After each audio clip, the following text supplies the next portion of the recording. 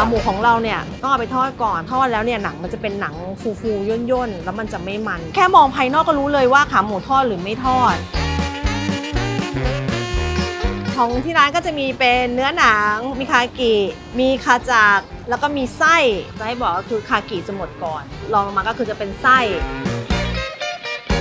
ตอนนี้เริ่มต้นที่ราคา 50 ลูกค้าจะทานอะไรก็ได้ เนื้อล้วน เนื้อหนัง เนื้อไส้ทุกอย่างอะไรแล้วแต่เราก็ขาย 50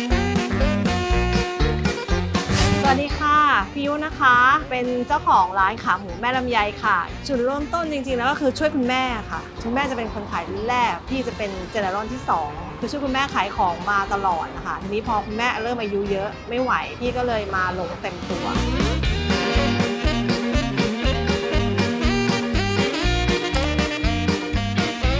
ริ่มแรกก็ขายแค่ได้วันหนึ่งแค่ 2 ขา 3 ขา แล้วก็พัฒนามาเรื่อยๆค่ะ แล้วก็ลงทุน 2 ขาขายได้ขาหนึ่งขาดทุนแล้ว แต่เราไม่เลิกล้มอะค่ะ ต้ม 3 ขาขายได้ขาครึ่งขายได้ 2 ขาอย่างเงี้ยค่ะ ก็คือเหลือทุกวัน ตอนนี้อังจริงก็จะเริ่มไปวันเป็นร้อยโลแล้วร้อยโลก็ประมาณ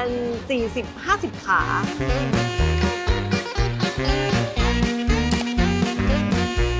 ขาหมูของเราเนี่ยต้องเอาไปทอดก่อนหนังมันจะเป็นมันเละๆถ้าไม่ได้ทอดอะคะแต่ถ้าสมมติว่าทอดแล้วเนี่ยหนังมันจะเป็นหนังฟูๆย่นๆแล้วมันจะไม่มัน แค่มองภายนอกก็รู้เลยว่าขาหมูทอดหรือไม่ทอด ถ้าไม่ทอดเนี่ยมันจะเป็นหนังแบบเหมันหนังติดมันขาวๆอะค่ะพอทอดเสร็จแล้วถึงค่อยเอามาต้ม ในการต้มเนี่ยเราก็จะมีสัดส่วนของเรา วันหนึ่งเราต้มเป็นมาตรฐานก็จะมีใส่น้ำใส่น้ำมันหอยใส่เครื่องปรุงใส่เครื่องเทศใช่ค่ะ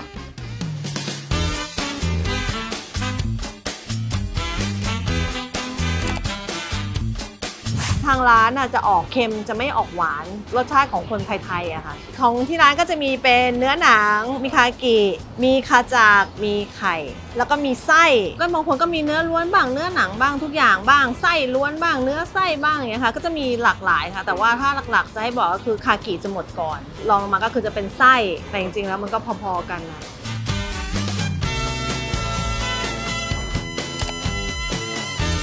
ตอนนี้เริ่มต้นที่ราคา 50 ลูกค้าจะทานอะไรก็ได้ เนื้อล้วนเนื้อหนังเนื้อไส้ทุกอย่างอะไรก็แล้ว แต่เราก็ขาย 50 แต่ถ้าใส่ไข่ก็ 55 บาท นอกจากว่าลูกค้าบอกว่าขอข้าวเยอะๆ แล้วผมขอเป็น 60 บาทนะอะอย่างเงี้ยพี่ก็จะทำให้เขาเป็น 60 บาท เพราะว่าพี่ก็บอกพี่คิดว่าในเงี้ย50 55 ก็อิ่มแล้วแล้วก็ถ้าเป็นหมูเปล่าก็ทานที่ร้านก็ 60 บาท ถ้าใส่ถุงก็ 70 บาท ร้านขาหมูแม่ลำไยนะคะ ตั้งอยู่หน้า